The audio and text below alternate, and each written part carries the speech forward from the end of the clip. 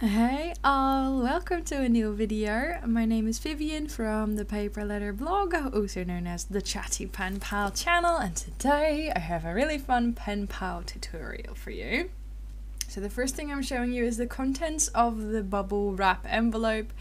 I am being funny and weird because I've just painted my nails. I thought it was a good idea to paint my nails before I do did a video and then of course um, I don't want to damage that best idea I ever had. But I'm first showing you the contents of the envelope because I will be using some dies in this video, these two in particular. Um, I received these dies from Inloveartshop uh, it's basically a win-win because I received these goodies for free and I get to use them in a video and make a fun project with it and I have a discount code for you all. So um, I will link that down below and I just want to say that even though I received these goodies for free, all opinions are my own as always. Um, yeah, you know, uh, you can trust me in that. And what I'm doing first is I'm just showing you what I will be using. So I have some pretty paper pads from a brand called Pebbles. The one I'll mainly be using is called Pebbles Tealightful. You may remember that from my um, my tea party collaboration with Brittany McCowan I did all of these years ago. It's a quite an old paper pad, one of the first ones I ever bought. I've had it forever, um, but I, I recently did a challenge on my Patreon to try and use as much of my pretty supplies as I have. So, you know, this is one of the pretty paper pads that I have been hoarding and keeping. The first thing I did is obviously cut out all of these banners or flags or however you want to call them because you may have guessed it from the title. I'm actually going to make a Happy Mail bunting which is basically just Happy Mail but then you can also hang it up after. I thought that was kind of cool. Um, so what I did is I cut out these um, scalloped flags and then I also for three of them I also cut out the inner paper so that you have a, kind of a layered effect then what I did just now is I had I cut out um, a I cut out a shaker from foam or poster board, which is basically just foam board, like it's thick cardstock like stuff. And I had some scraps left of that uh, because of course I used the die to cut out the flag shape and I realized that I could actually reuse that scrap to turn one of the flags into a pocket. So it looks a little bit weird, but what I've basically done is I have created some space behind the inner flag you see here. And then all I do is I just glue that onto the paper with an extra border at the top. I just have a paper punch that creates a pretty border.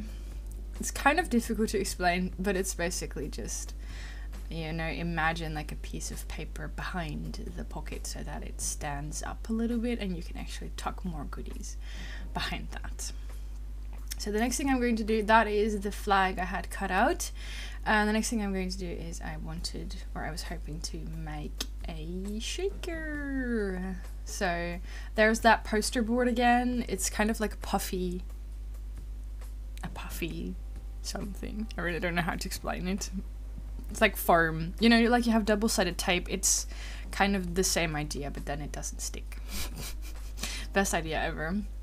And what I wanted to do with this one and the reason why I cut it out is make a shaker as I said before but the poster board I had left was too small to cut out the whole flag so I decided to make the shaker a tiny bit smaller um, also because I thought that if I made the whole shaker like the whole flag it might be a little bit big I just improvised. I'm sorry, the whole beginning of this video is a bit vague, but you know, whenever I do these videos, I want you guys to look at them for inspiration, hopefully take some ideas, and of course, feel free to follow along.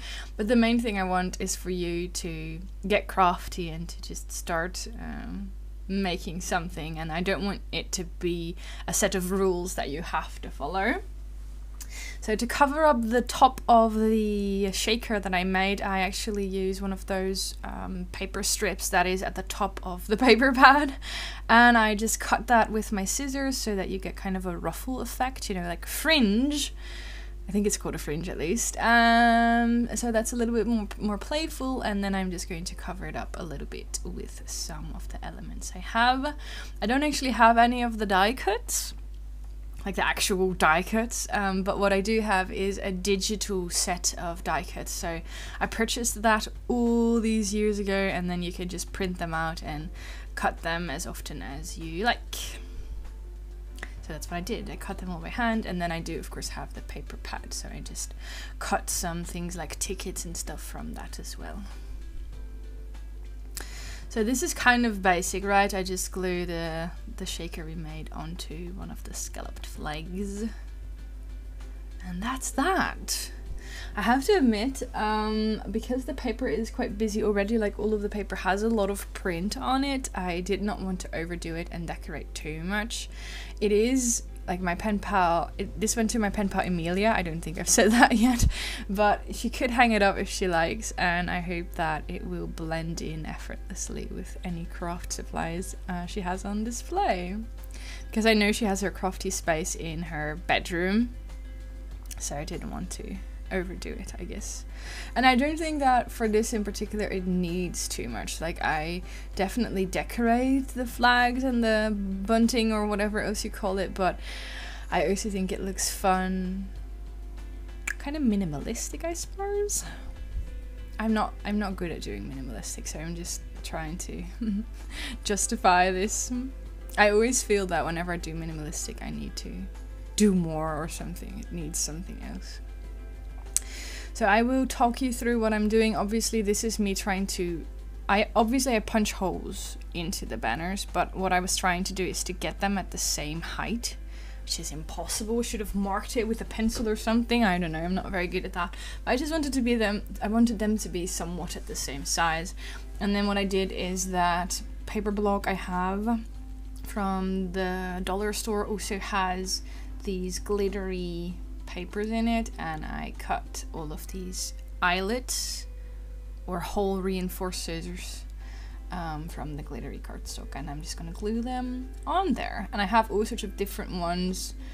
It's just basically something to make sure that you don't rip the holes even though I don't think that's really possible but you know it just looks cute I suppose.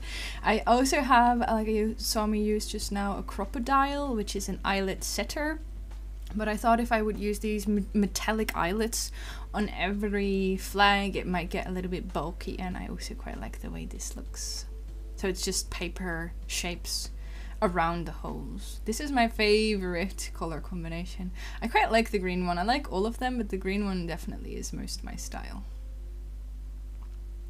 And then this is me decorating the rest of them.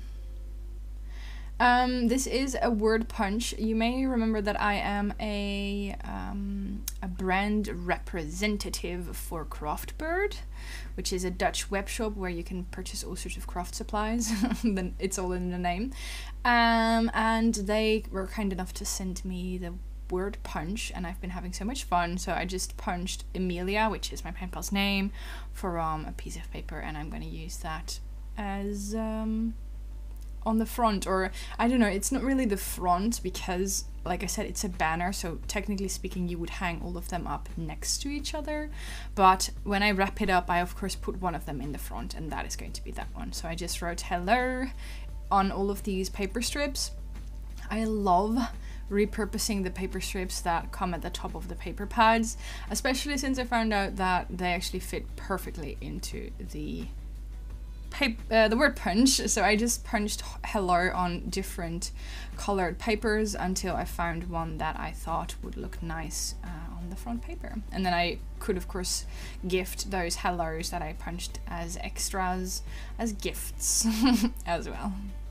I'm just backing this hello and the Emilia with um, some lighter cardstock so that it stands out a little bit more. I like the way that looks. You don't have to do that, but because the background paper is quite yeah, that's just me showing you that you can now read the hello a little bit better. But because the background paper is also really busy, I like doing this because otherwise it just gets a little bit lost in the background. So while we're doing that, let me talk to you guys a little bit because... Oh, I have to start again. Um, anyway, last Sunday I actually uploaded a Craftelier haul video. It's just me showing you all of the craft supplies I got because, as you may or may not know, I am back at work now after six months of being in lockdown, after six months of being at home. And I always like to celebrate these kind of big events in my life with I guess you would call it a gift for myself. So I just picked all sorts of pretty things from craft, like craft, cra what is it called? Scrapbooking papers to a paper trimmer and I don't know, picked a lot of things. I think you would really like it. So I uploaded that video last Sunday. You can check it out if you want. Um, but because I of course talked a lot about the goodies I got, I wasn't able to really talk about how I've been. Some of you are here for the mail and for the tutorial, or it's not a tutorial, but for the process video, and that is totally okay. But I am very grateful to say that some of you are also really interested or I don't know, like supportive because um, I went back at work two weeks ago and I've gotten so many messages from people saying they think about me or they hope everything is okay because, of course, going back to work after six months of lockdown is a lot for everyone. But for me, especially with my anxiety, it was just kind of a daunting thing, you know, like sleepless nights kind of thing. Um, so I also wanted to update you, or those of you that care, about that a little bit. While in the background I am actually making a little mini paper pad. I showed you how to do that in the Pen Pal goodies made from paper scraps video. Um, I actually decided to change it up a little bit and add some stamped images to the pages as well. So if you want to know how to do this, yeah, you can quickly look at it what I'm doing now. Um, but you can also check out the pen pal do-it-yourself pen pal goodies made from paper scraps videos. It's linked down below. Um, but anyhow, just a quick update. I've been back at work for two weeks now. It has been absolute crazy. I wish I could say that things are back to normal, but of course they're not. Especially because when I'm doing this voiceover, um, we don't know yet every time I tell one of these stories, there's something I don't know. And this time, the thing we don't know is whether or not we will, as restaurants, will be allowed to open from like morning until 8 at night. Because currently, we're only allowed to open from 12 to 6, which is nice and it's actually quite good for me because you know can you imagine if i had to go back to work like full full time right away and now it's kind of like a half a day and then the other half of the day is just cleaning and organizing and stuff like that um, so it's been good for me but we're just currently waiting on news um, to see whether or not we will be able to open for longer hours again um, but okay like apart from the the not knowing of that it has actually been really, really good. Of course, my anxiety is there, and whenever I have to go to work in the morning, I have that feeling in my stomach that's not really like it, you could describe it as butterflies but way less pleasant so it's like you can't eat you can't sleep and you just you're just pacing around the house so of course there has been a lot of that and I'm not complaining about that. That's just the way it is. You know, I've always known that with my anxiety, going back to work would result in stomach aches and sleepless nights. And, you know, it's just a part of who I am now. Um, but I'm happy to say that it wasn't as bad as I expected. Like, a part of my anxiety was related to being afraid of how bad my anxiety was going to be. So can you imagine? I create the anxiety I am so afraid of by being so afraid of it. It's an endless circle and um, it's so pointless, but yeah, that's just anxiety for you. Um, so I was really afraid of being exhausted and like crying and panicking and panic attacks and stuff like that. And that didn't really happen. I mean, the exhaustion, sure. Almost falling asleep in the bathtub, definitely. Having no energy, slash inspiration slash peace of mind for crafting also but nothing extreme nothing out of the ordinary that just kind of good news i guess so a lot of you messaged me saying i hope everything is okay and i i can proudly say yeah everything is okay. I mean, apart from being nervous, um, it's actually really, really well. And I also want to say that being back at work has been really, really fun. It definitely made me realize that waitressing is what I love doing. For many people, it may be like a side job during college or something like that, but for me, it's definitely what I enjoy doing most. And I missed work and my co-workers so much and that is definitely a good part of being back as well i get to have the banter and you know the, the excitement and all of that so about the mail, in the background I made these little ticket embellishments uh, with various supplies. Most of the die cuts are either hand cut or um, I cut with die cuts because, uh, yeah, because. and then I'm just decorating them some more with some Nuvo drops. That's my head. I'm just trying to focus a lot. Um, so I use a lot of Nuvo drops. I will also link those down below. I always use affiliate links for this, so um, which means that I get a small commission, but for some reason I've been kicked from my Amazon account, so the links still work, but I get nothing. I mean, not that I would normally get a lot. You you you have to imagine that I got like let's say uh, six dollars a month from Amazon, but it's still kind of rude. Like, why did they ban me from my account? They're not saying. I think I didn't make enough or something, but the links should still work, so I will link everything down below if I can. I mean, the Tealightful stuff is too old to link, but yep, I hope that helps. And then we have the paper pad, which I let dry, and I just made a small banner or a tuck spot from another one of those paper strips to kind of hang, is it called hang? I don't know, to, to place the um, paper pad on the page. good good story, Vivian. And what I'm doing here is I have I made these washi tape samples from different Maggie Holmes washi tapes because I know my pen pal likes these. And I just put them together with some twine and then I had another tag but it was too big so I just put it with the paper pad instead. And now I'm going to add more goodies. I have these circle stickers which I personally love using so I figured my pen pal might like them as well and I'm just going to pop them in that pocket as well. I say as well too often. Just going to also put them in that pocket together with some more die cuts. Um, I do want to say one thing. Emilia and I, we have been pen pals for quite a long time, quite a few years I think, and um, because I'm not like shopping anymore, I stopped shopping on AliExpress, I sometimes struggle with what to send to these pen pals.